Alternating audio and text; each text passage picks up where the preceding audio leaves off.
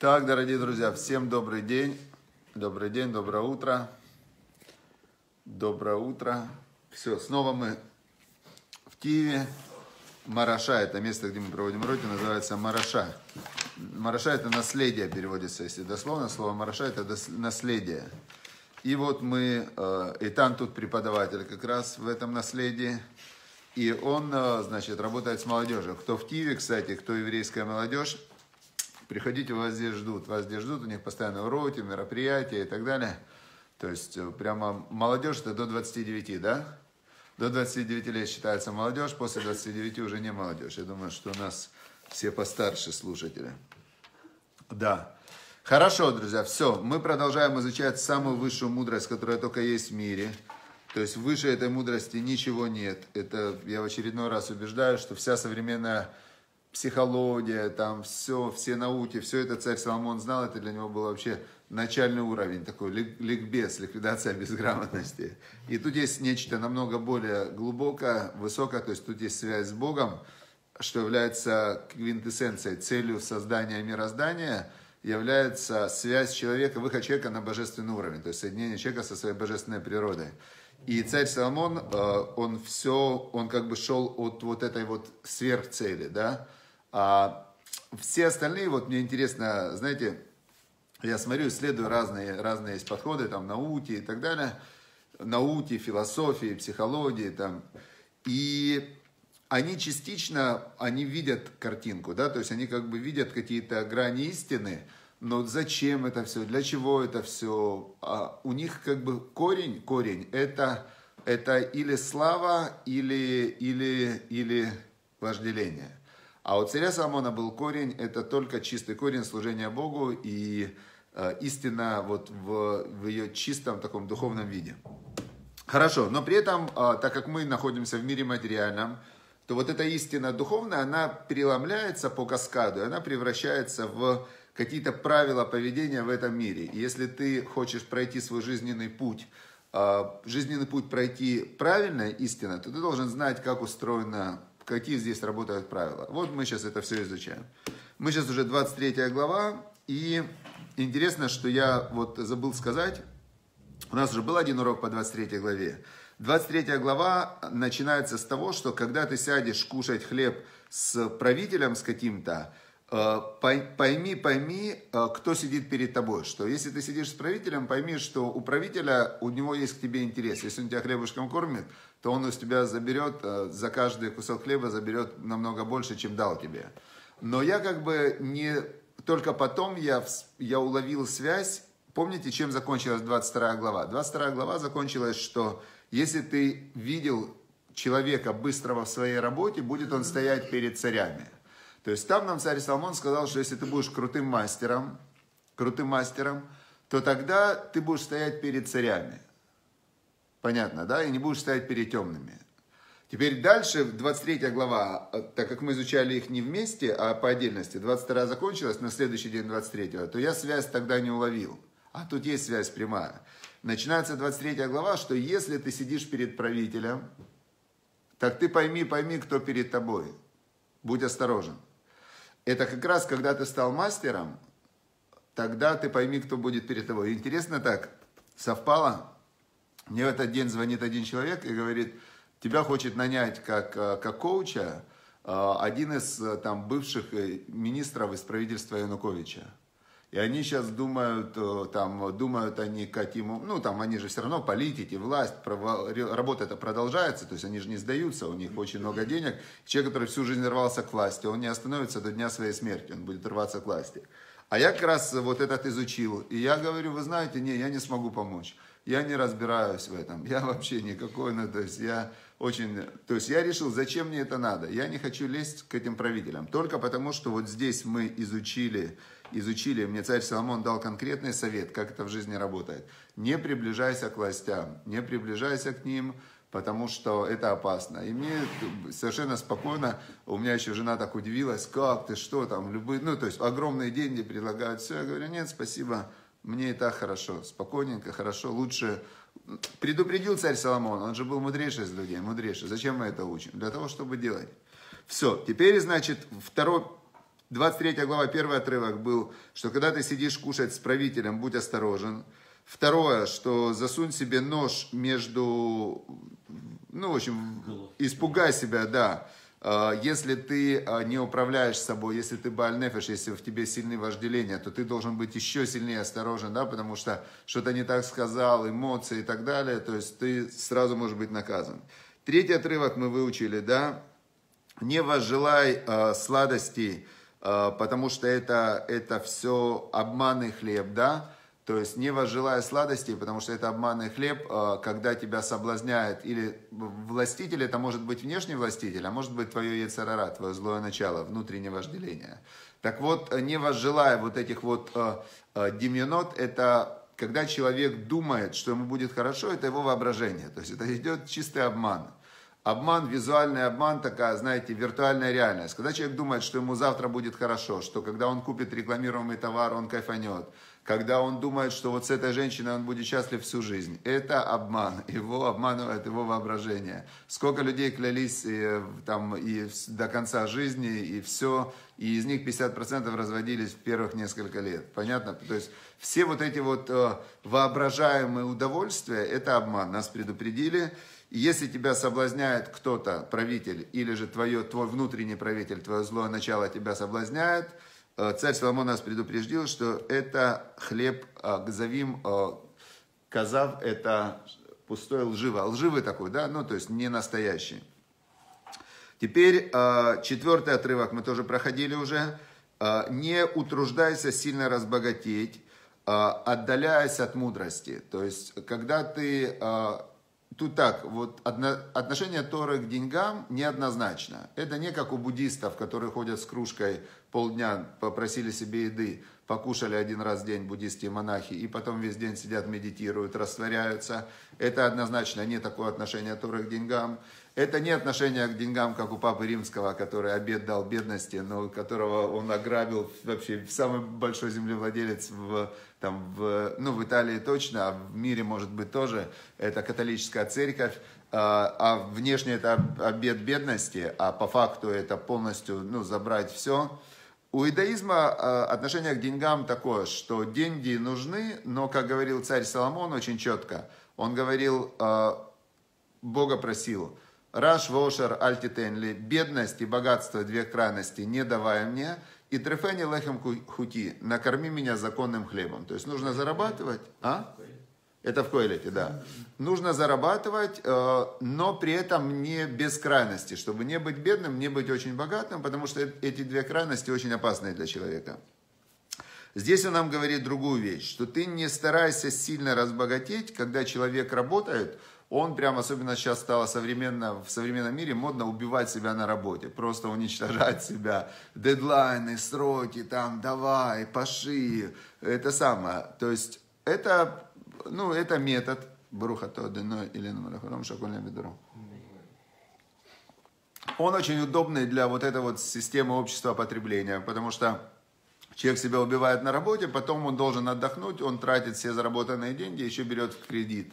И это современный вид рабства. То есть он в кредит накупил дома, машины и так далее. Он должен пахать как раб. Потом он все деньги, которые заработал, тратит. И у него есть еще огромные долги. То есть он никуда не денется, будет работать до конца жизни. Да, и будет послушный, законопослушный гражданин.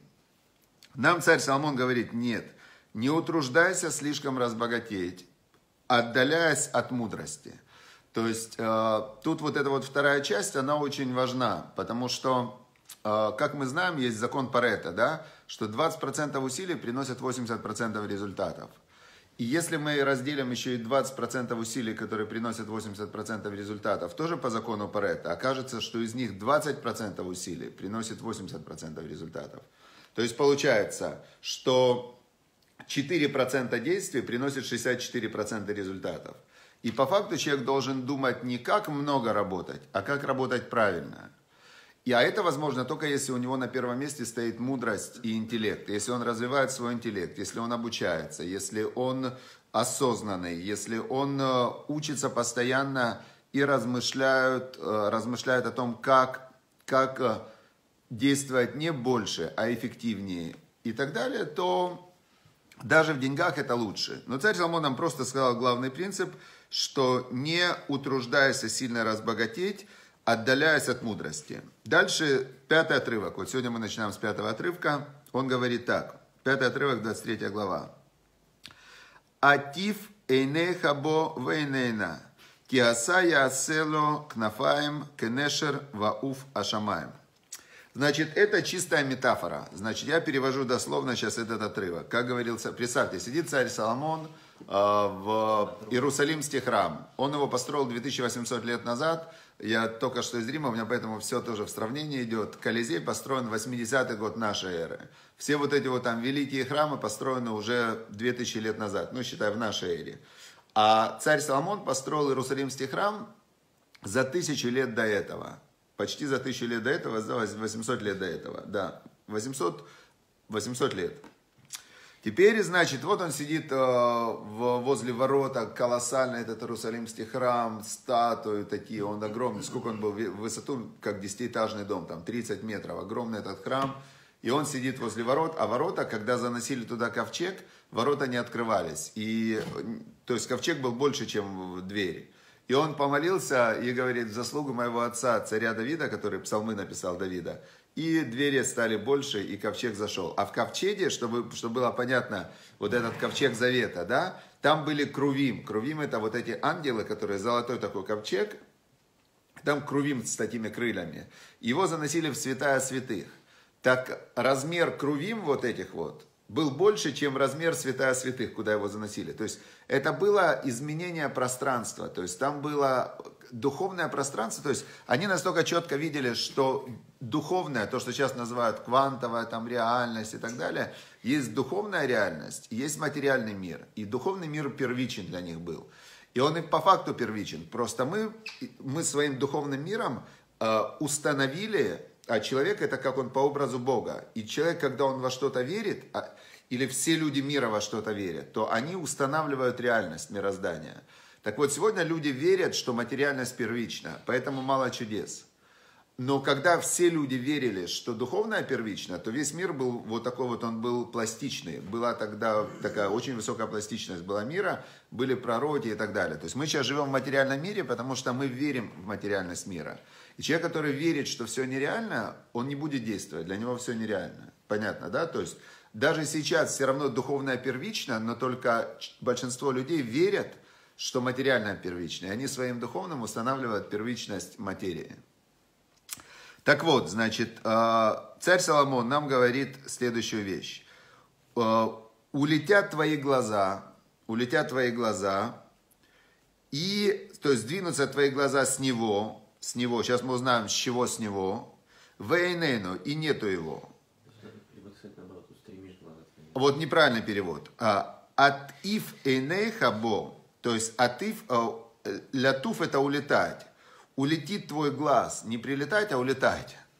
Улетит твой глаз с него, из него, и инейно, и его нету. То есть то, на что человек не смотрит, его как будто бы для человека и нету. Улетит твой глаз с него и нету его, потому что сделал, сделает э, ему крылья, как орел улетит в небо. Непонятно вообще, что имеется в виду. Значит, э, комментаторы, два комментатора первым делом, э, ну то есть понятно, что на что-то, если убрать с него глаза, оно улетит. Но что улетит? предыдущем отрывке говорилось о двух вещах. Говорилось о не утруждайся слишком получить богатство, удаляясь от мудрости. Теперь в этом отрывке говорится, уведешь глаза от него и улетит. Что улетит? Одни комментаторы говорят, улетит богатство. Богатство это такая штука, которая то оно есть, то его нету. И даже если оно есть, по факту его нет. Есть известная история, как а, один сидел нищий в, в парке, и он, значит, сидел нищий в партии, и такое у него прям реально была, ну, плохая ситуация. А, значит, э, подходит к нему какой-то человек и говорит, смотри, говорит, я тебе сейчас э, даю одну вещь, которая тебе очень поможет.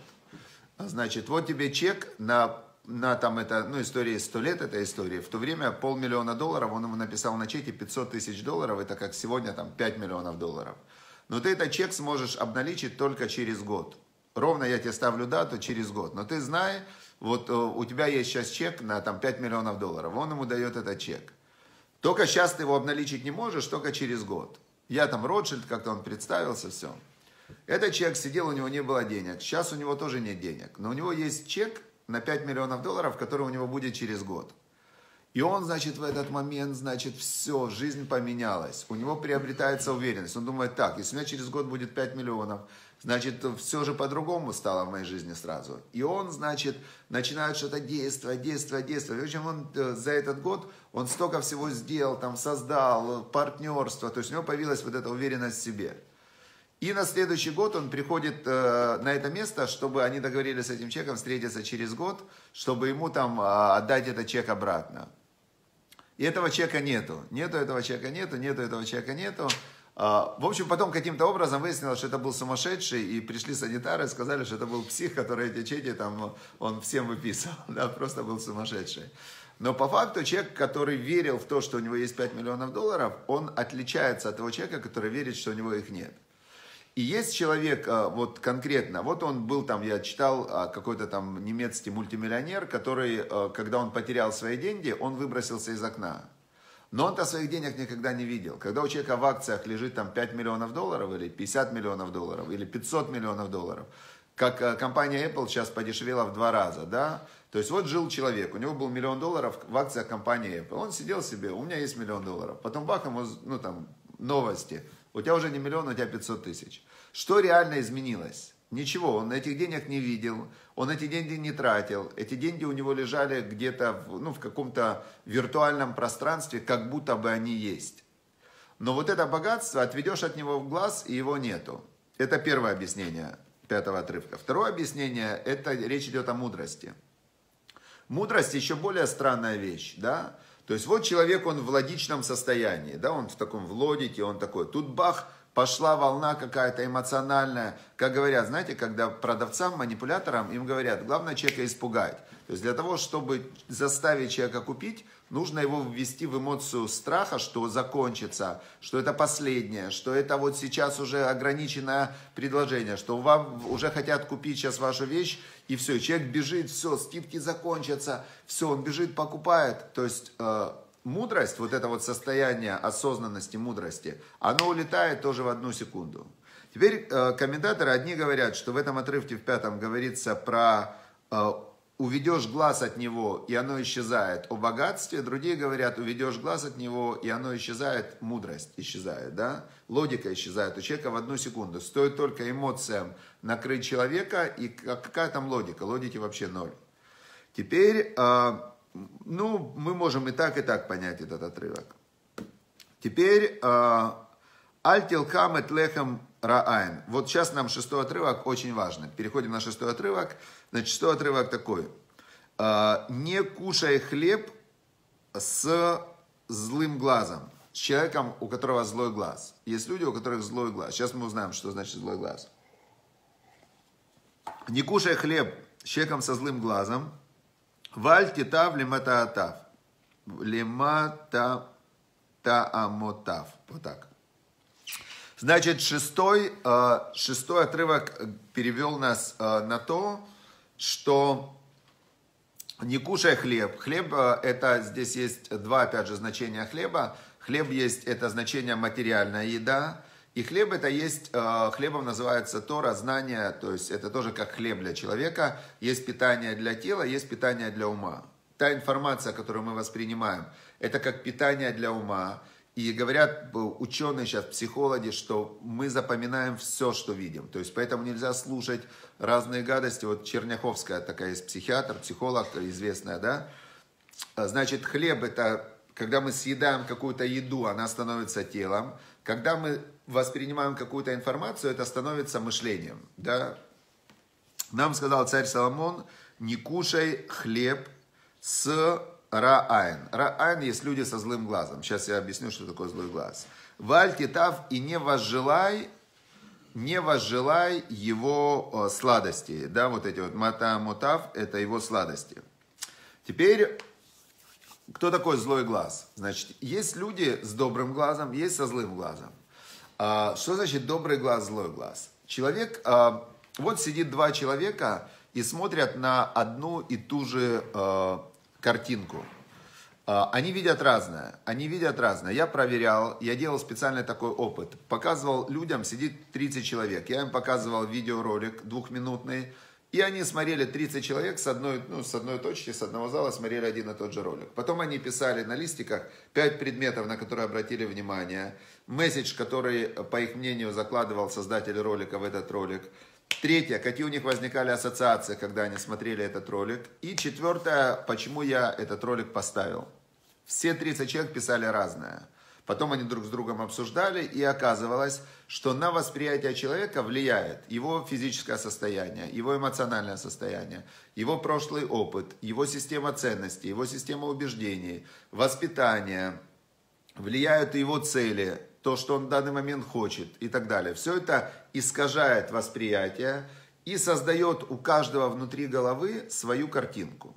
Теперь царь Соломон об этом писал 2800 лет назад, что у одного человека есть добрый глаз, и он все преломляет через оптимистический такой вот э, призму фильтрации, да, и он смотрит и думает, вот погода на улице, да, э, дождь идет, один смотрит и говорит – классно, природа обогащается, будет хороший урожай, воздух ионизируется, а, как хорошо, что а, вот сейчас идет дождь, а потом будет солнышко и так далее. Второй смотрит на дождь, слякоть, грязь, как достала эта погода, грязища, перегрязища, там, ну и так далее. То есть они видят одну и ту же картинку, но каждый ее наполняет разным содержанием. Теперь есть люди, э, принципиально есть два разных подхода к жизни – один подход – это оптимизм, ожидание добра, вера в добро, вера в то, что есть добрый Бог, и вера в то, что есть вечная жизнь, вера в то, что все будет хорошо. Это вера. Это некая предпосылки восприятия мира, в который человек верит. И есть второй подход. Все зло, впереди смерть, черви гниения, люди сволочи, там, ну и так далее. Это два кардинально разных подхода к жизни – у большинства людей, э, у них все перемешано. У них нет такого однозначно все будет плохо или однозначно все будет хорошо. И у них и восприятие, оно вот такое вот колеблется. Они где-то, ну вот, э, не, не то, не то. Есть люди, однозначно у них добрый глаз, есть однозначно злой глаз. Теперь царь Соломон говорит, те, у кого злой глаз, с ними не общайся, не кушай, не воспринимай от них информацию, не воспринимай. Почему? Да потому что когда человек этот со злым глазом, он все, что он воспринимает, он все это искажает. И дальше, опять же, мы можем уйти в, в эзотерику, мистику, каким образом э, восприятие влияет и на продукты питания, и на общение. Но по-простому, по, по с ними нельзя ни кушать, ни общаться. То есть отдаляйся от плохих людей, отдаляйся всеми возможными способами, способами от пессимиста. Я вчера читал информацию, интересную для бизнеса, что когда есть группа людей, совещания, и в ней есть подсадная паршивая овца, так называли, специально проводили опыты, прям замеренно и так далее, который пессимистично, он гонит на всех, все не получится и так далее, эффективность сразу падает. То есть вся группа вообще они не могут работать. Один человек может испортить работу целой группы людей. Да? Теперь что делать? Написано, что один лидер может его нейтрализовать. То есть, если есть кто-то, кто берет на себя ответственность и ему как бы говорит, слышь ты, ну типа замолчи, хватит. Откуда ты знаешь, что будет плохо, что ты здесь, ну, то есть это же все равно все предположение. Мы живем в мире предположений. То есть можно их э, нейтрализовывать, но это опять же головняк такой, это они тоже не хотят нейтрализовываться. Поэтому я считаю, что лучше убегать. И царь Соломон нам много раз говорил, что если даже у тебя жена сварливая, то убегай от нее в пустыню. В пустыню убегай от нее, потому что это нереально жить и находиться рядом с людьми, которые имеют злой глаз. И что будет, если ты с ними все-таки сел кушать? А, если ты сел кушать, седьмой отрывок коротенький. Тикмо шар бенавшо, кен у эхоль уште йомарлах, велибо баль имах. То есть э, смысл такой, что как у него в душе э, зло. Теперь, даже если он тебе скажет на словах кушай, там, пей, да, то знай, что сердце его, оно не с тобой. То есть есть у человека сущность, суть, вот этот вот злой глаз, добрый глаз – злое сердце, доброе сердце. И вот эта вот сущность, она, а, намерение, сущность – это главное. Вот посмотрите на людей вокруг себя и посмотрите, у кого намерения добрые, кто ожидает добра от вас, от мира, кто хочет давать добро, а кто нет. И всеми способами постарайтесь отдалиться от влияния негативных людей. Все, это то, что конкретно нам советует царь Соломон, притчи. И завтра мы с Божьей помощью продолжим. Теперь давайте подведем итог сегодняшнего урока. Значит, э, первое, что все, все, все, от чего отводишь глаз, оно улетает. Это первый мой вывод. То есть то, на что человек не обращает внимания, оно, оно не наполняется его силой, его энергией, и оно улетает. Если ты от богатства отведешь глаз, то оно исчезает. То есть то, на что ты обращаешь внимание, фокусируешь свое внимание, то и наполняется. Если ты фокусируешь внимание на проблеме, наполняется проблема, на цели наполняется цель. Понятно, да? То есть это первое. Второе, что негативные люди, значит, надо от них убегать, не кушать их хлеб и не, а, и не слушать их а, негативные, депрессивные разговоры. Все. А, значит, удачи, успехов. Напишите, пожалуйста, три своих вывода. Да, напишите, пожалуйста, три своих вывода.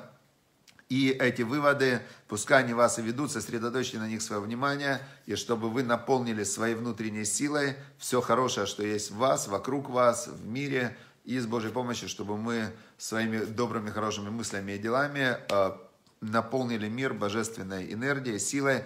И как я в Риме научился в римской общине, что я значит, прошу Бога, чтобы Он помог всем, кто меня сейчас слушает, реализовать ваши мечты, молитвы, что все, что вы просите Бога, чтобы Он вам дал. И э, так как я за вас помолился, сейчас я верю, что Бог мне поможет реализовать мою, мою какую-то молитву. Сейчас я помолюсь, чтобы мне Бог дал то, что мне нужно. Все, все, помолился. И с Божьей помощью удачи, успехов. Всем хорошего дня. Пока.